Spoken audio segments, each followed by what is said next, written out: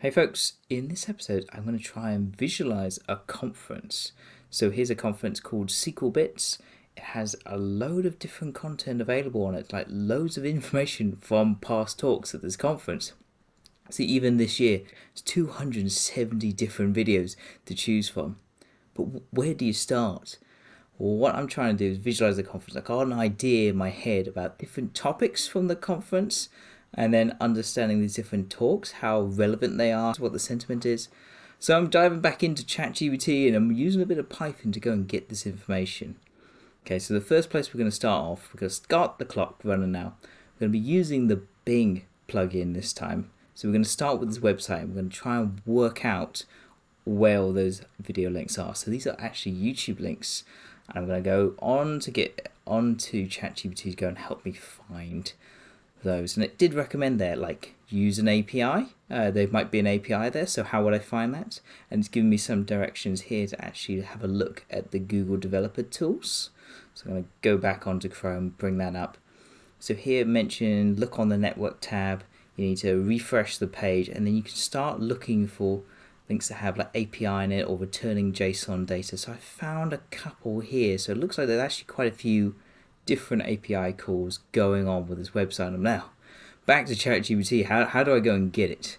Uh, so I had to go and install a library there, but now I've got some Python code coming back, which I'm going to go go through, and I'm now getting results back from the API that is running this website. So now I'm going back and then looking at hey, look at all the like how do I get the YouTube links from these uh, from these videos? Trying to parse out just those uh, YouTube URLs from there. Uh, so getting ChatGPT to help me out with that because I just want to find those video links. So I'm trying to get this process where hey, we're going to find the video link. We're then going to have a look at the YouTube subtitles and then we're going to try and work out some topics from there. I want to try and do this with a cut like a few videos to start with just to make sure the process works. So hey, I've got my YouTube URL there. Uh, now I'm actually going to go and find those subtitles. So I've got another Python package to install, which I've done with the pip install. But I've got a script here of my video, which I'm going to go and try and find. You can see actually here, I've got the text coming back. I've got the transcript of the talk here. But, you know, I need to go and format this data in a bit of a better way. It's just been returned to me on screen what I want. So I want it part of a table in this case it's going to be called a data frame in Python. So want yeah, we want to try and get all those subtitle, all that text in one like cell on my table. Also going to need to have the video ID in there as well to understand how I can relate that subtitles to the video to all the other metadata I have associated with that video. Okay, so I've got I've got my subtitles, I've got video, I've got the one case done here what I want to do now is go on to go and actually work out the text analysis side. How how easy is that going to be? What's it going to look like? Uh, so in this case, I will want to be understanding the different topics, and I also want to be understanding the sentiment towards those topics and how relevant they are. Uh, so in this case, I'm opening up a new ChatGPT 4 uh, module. I'm going to go back with the advanced data analysis, formerly known as code interpreter, and I'm going to give it some of the subtitle text as a spreadsheet. I'm going to upload that CSV. What I wanted to do is go and take that file and find the topics for me as a starting point. Uh, so I've asked it what I'd like to do. It actually says, hey, there's a few steps here. Which one will you want to do? So I want to do text processing modeling. Yeah, let's go on with that. So here I can then go and see that Python code that's been written out as well. Uh, now I've got that on ChatGPT. What I want to do is replicate it on my side as well. So here, yes, I can see uh, printing these results back to the console. I can see that text coming through. And now we want to go and start. We've cleaned up the text here. Now we want to try and find these topics. And you see here, actually briefly there, I have got some topics back, but they're quite similar. Uh, so yeah, you can see there I've got something about machines, then SQL data, then machines, machines, machines. Uh, what I want, I don't want those lengthy topics is what I want. Yeah, this, I want one or two words max coming back. But here, you can see I've got the word machine repeated again. I tried to ask ChatGPT to remove it. It removed machines, but I've still got machine. So what I'm asking it to do now is can it actually stem the words? So stemming is kind of taking uh, similar, like the word that maybe machine machines and combining them as one word. Uh, it's done that, uh, but now I've got a different topic going back, which is YAWL, uh, which is not exactly much better either. Now I'm just going, I've done a lot with ChatGPT, getting that to see that on, my Python terminal as well, and you can see that I've got YAWL coming back several times, and I, I, I don't want four topics of YAWL. Uh, what I'm trying to get to is these unique topics, so I, that's what I've asked ChatGPT to do here. So we now got two topics coming back. I'm gonna have to fix the YAWL later, but SQL that that sounds pretty relevant for a SQL conference. Uh, now we're trying to get rid of that that YAWL. So here we are. We're adding it to this list of stop words. So stop words are just general common words that don't have much meaning. They're sort of added um, parts of text that wouldn't infer any meaning. So we're trying to remove those here. Lastly, I'm just playing around here with number of different topics coming back and I tried one, I tried two, I tried three. One is coming out far the best. Uh, so with this, I've, okay, let's just proceed. Let's see if we can understand how relevant this topic is and the sentiment behind it as well. So here we're building into more Python libraries to find uh, the relevance is using this text frequency as one part and then the TDF uh, score as the other. So here we go. So we're now building out these results so we can see those results coming printed back to the terminal there as well. So we've got results for SQL and now we've got a new word, year, coming back instead of YAWL uh, with some relevance there. Okay, so we've got text relevance coming back. We're now going to work out sentiment here. So we've got two terms here. We've got polarity and subjectivity. So polarity is how positive or negative they are with this, and then um, subjectivity is how factual they are versus opinion based as well. So now, yeah, I'm getting this nicely printed out as a data set here. Uh, but yes, this is what happens. My Python script is very long, very messy. So what I'm doing here is actually getting ChatGPT to rewrite my script in a much more coherent, understandable fashion, uh, which it did really well. I was quite surprised with this. Uh, so it's gone and taken all my Python script, turned it into functions. So it's quite a simple output here. And now I can see that output here. I outputted it to a CSV file just so I can go and check it in Excel. That all looks good to me. Okay, let's go back. So I've got one case working. Now I want to go and get all those other cases going as well. 270 videos, remember. So what we're doing here is going back over our initial like YouTube video get and looping it to get all the videos. So our API call uh, would return a list of videos, but then it wouldn't give us the URLs. So we then have to start looping through all 270 individually. Uh, so what I'm doing here is now running that loop. So I've put a time function in, like a sleep function in here, just to make sure there's a pause between every few seconds, uh, just so we're not hitting that API and causing that website any problems in terms of traffic. And yeah, you can see we've gone into super speed here because it's 270 and I'm pausing. But yeah, the data has come back. We saw it there on Excel. All good. Uh, we're now running into these subtitles issues. So I've got one here where it said, oh, it wasn't in English, it was in Dutch. But I saw then, uh, actually, no, it is in English. Uh, it's just that it's picking up on the person's accent or they're saying a few things in it in Dutch to start with and I found other cases where videos aren't available anymore. Uh, so again, ChatGPT helped me out here, and it's given me this sort of try except uh, statement or try catch you may have seen before, where it says, "Oh, try this. If you run into an error, do this. If you run into a different error, do this." And this is using the errors in the YouTube system. And I'm running that, and now yes, we get back a list of our videos and our subtitles. Uh, but I noticed like text is all there, but I noticed like it's quite a lot more text than there should be, and I didn't know what was going on until I um yeah I saw this. This is meant to be a video ID in this cell, but actually it's a load of text. And when I expand it, yes, I can see. Oh, actually, we're getting something happening in our Excel file where the text is running over to the next cell. So I've got some suggestions here from ChatGPT, but what transpires, I try to fix it, but actually, I don't think this is uh, writing the file issue. I think this is just Excel itself dealing with it. And when I view the CSV in uh, VS Code here, it looks alright. It looks alright to me. And I can even see in the output that we've got 267 rows, which makes sense. We had a few videos that we need to skip because they weren't outputted. Again, I'm trying to get ChatGPT to do a lot of the work for me, so I'm getting it now to try and loop over all those individual subtitle text to go and then create those outputs for me. So the relevance, the sentiments, word counts for all those different um, topics as well. Okay, so I'm now getting this back. So you see these individual topics, terms for those videos. So a video can have multiple topics here, and that's fine. And then we're scoring each of those words.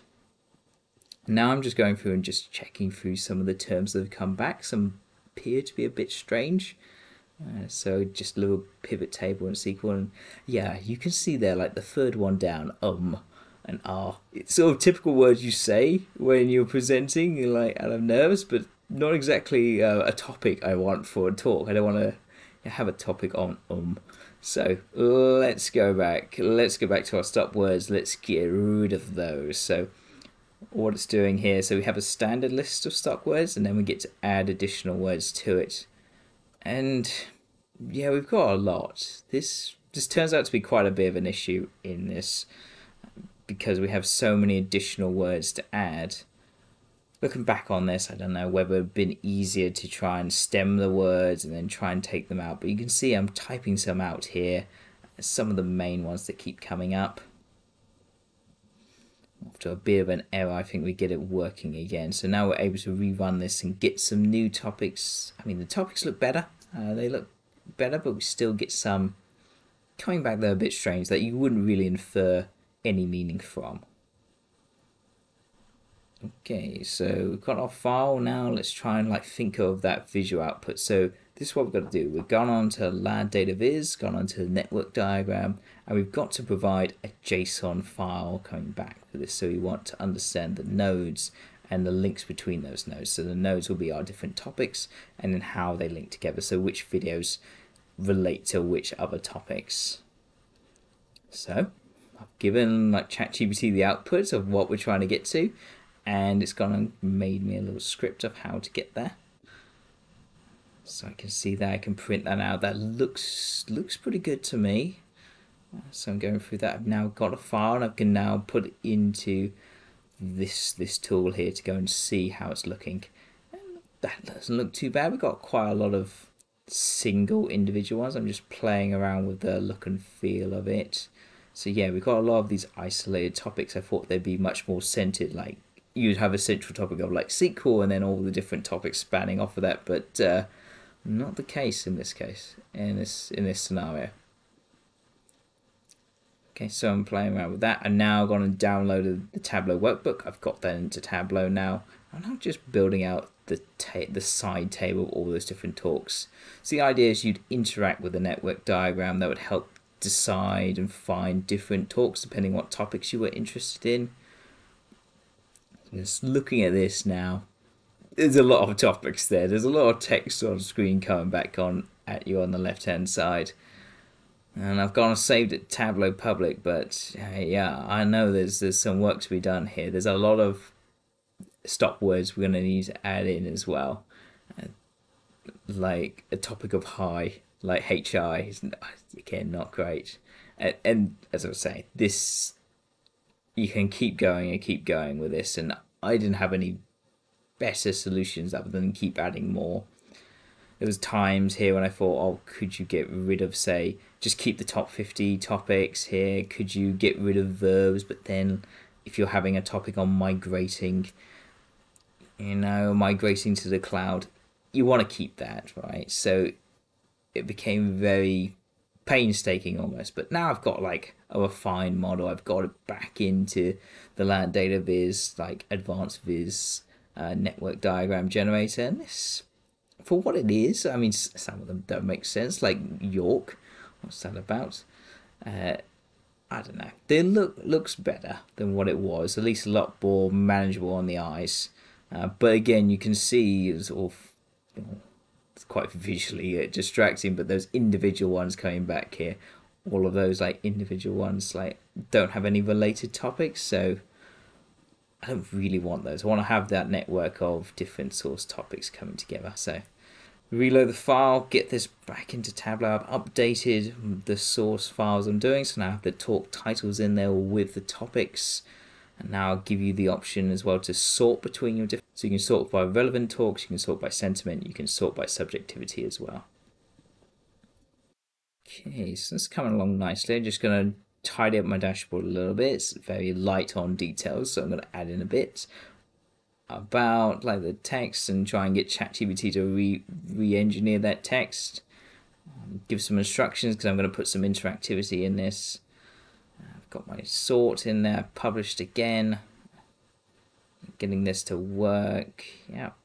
Uh, sorting out tooltips always a good thing to do. Uh, then got on Tableau Public. We're now, yeah, we're changing the colors. So trying to keep it on brand for SQLBits is that kind of orange color. So now we're just refining, we're just refining that last stage on the network diagram. So we had an issue in our JSON file. We've now been able to resolve that. I've got this here. So this now works for me.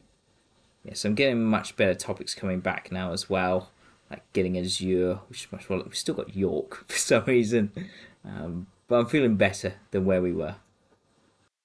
Okay, so we've got that, so we can refresh our file. I couldn't get rid of those individual ones, so just cut them out. But now, yeah, I've got a network diagram coming back, testing out the URLs, they work. I've now got this on there, but I've got to go and document this. So cheekily, I'm going to go and zip the folder I've been working in, and then going to put this into ChatGPT and say, hey, can you go and write my documentation for me? Can you write a README for my GitHub, GitHub repository?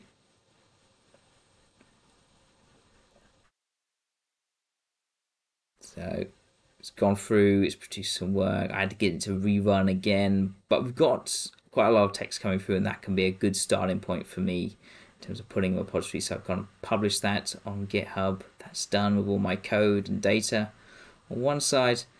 Ah, but this has been a long project. I draw attention. Five hours this this took. So I decided this that was enough. I was going to call it here.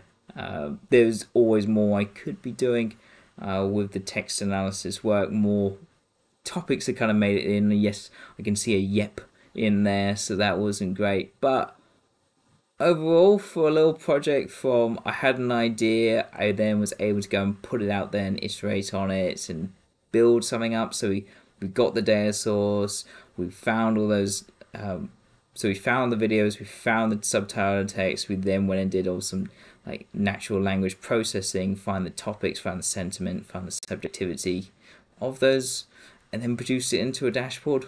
I thought that was really good.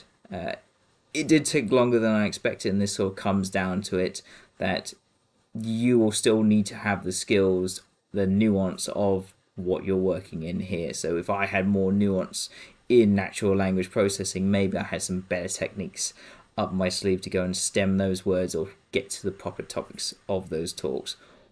Or potentially there was another method of finding the subtitled text, maybe a cleaner version of the subtitled text that didn't have quite so much ums and ahs in it. So plenty of options there. Uh, but this is again showing you what's possible, what you can do, a bit of an idea, bit of ChatGPT and a bit of Tableau. That's all for this video, and I'll see you in the next one. Bye.